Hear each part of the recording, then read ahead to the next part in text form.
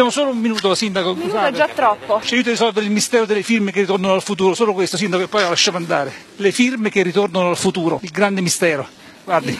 Non so proprio di cosa sta parlando. Eh, no, glielo faccio vedere, guardi. Bravo. Abbiamo raggiunto Virginia Raggi mentre era a sciare il settimana bianca per risolvere il mistero delle firme del Movimento 5 Stelle che ritornano dal futuro. E cioè per capire essenzialmente una cosa, è stato commesso un falso nella candidatura di Virginia Raggi a sindaco di Roma? Nella presentazione della lista dei candidati, i 5 Stelle, il 20 aprile 2016, dichiaravano di avere 1352 cittadini che avevano firmato per loro. Ma il firma dei 5 Stelle, cioè il giorno della raccolta delle firme tanto pubblicizzato sui social, è avvenuto tre giorni dopo, cioè il 23 aprile. come dimostra il tweet entusiasta della parlamentare romana Roberta Lombardi proprio quel giorno. Ma può essere ammessa una lista che riporta un falso? Teoricamente no, è una lista illegittima. Si può dire che l'atto principale di presentazione della candidatura della Raggi attesti un falso? Beh sì, certamente, al 20 di aprile attestava un falso. Pare se vuole tiro la cordicella, spingo il pulsante, metto il disco, chiedete al delegato di lista. Aspetti. La risposta è sempre là.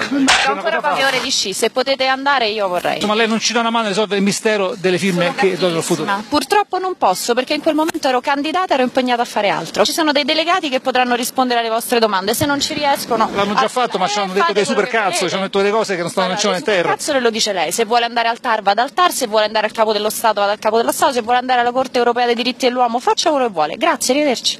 Arrivederci. Niente, il sindaco non ci dà una risposta e purtroppo continua il mistero delle firme che ritornano al futuro.